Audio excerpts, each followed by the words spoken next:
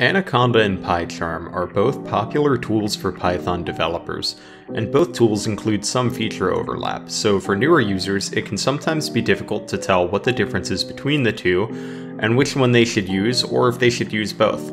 In this video, we're going to discuss the unique features of PyCharm and Anaconda, as well as where they overlap and what the best use case is for each tool. In terms of unique features, PyCharm is a highly specialized Python integrated development environment, or IDE. The main purpose of PyCharm is to make it as easy as possible to write clean, efficient Python code. In addition to basic text editing features, PyCharm includes refactoring features to help you write the best code possible. I've input one of the first Python scripts I ever wrote here in PyCharm, and you can see that while there are no explicit errors, the refactor settings are showing me exactly where I can revise my spacing to follow best coding practices.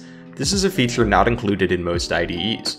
PyCharm also includes built-in support for most popular Python web frameworks such as Django or Flask, and it includes code highlighting and specialized refactoring tools as well. All in all, PyCharm is one of the most powerful IDEs you can get for making sure your Python code is the best it can be. In contrast, Anaconda includes an IDE, but it functions more as a platform for a variety of data science utilities. Anaconda includes a Python interpreter, which allows users to write and run Python code in a single tool, and it also includes access to utilities beyond simple Python text editing.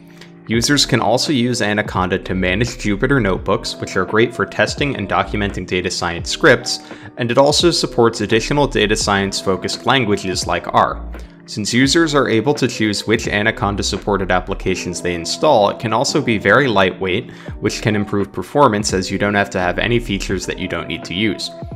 Lastly, Anaconda also includes learning and community resources in app, this makes it so that users can think of Anaconda as a one-stop shop for data science, even if its IDE doesn't offer the same bells and whistles as PyCharm. Though Anaconda isn't focused on being an IDE, it does include a lightweight, comparatively simple tool to PyCharm called Spyder. Spyder doesn't offer the bells and whistles that PyCharm does. Looking at the same code from earlier, you can see that there's no refactor warnings, even though it still does include some color coding. PyCharm, on the other hand, is a more powerful but heavier tool that's more demanding on your system in return for more features. The core difference between Anaconda and PyCharm is that PyCharm is a specialized IDE for any type of Python development, while Anaconda offers a more wide array of features specifically focused around data science. So with the differences and similarities between PyCharm and Anaconda in mind, what's the best use case for each and which should you be using? Anaconda is perfect for data science problems. The inclusion of a Python interpreter and access to notebooks, as well as other data science languages like R, makes Anaconda great for any data science needs. Another good use case for Anaconda is for developing on lower end systems or for very demanding Python scripts like machine learning solutions. For these use cases, the lightweight nature of Spyder can make it a more compelling IDE compared to the more advanced, but also more demanding PyCharm. PyCharm, in contrast, is a great IDE for Python developers that are not focused specifically on data science. PyCharm provides support for multiple Python frameworks, as well as refactoring options specialized for tasks like web development. While Anaconda is specialized for data science and is excellent for that task, PyCharm is a more generalist tool that can be used for data science but can also be used for any other kind of Python development.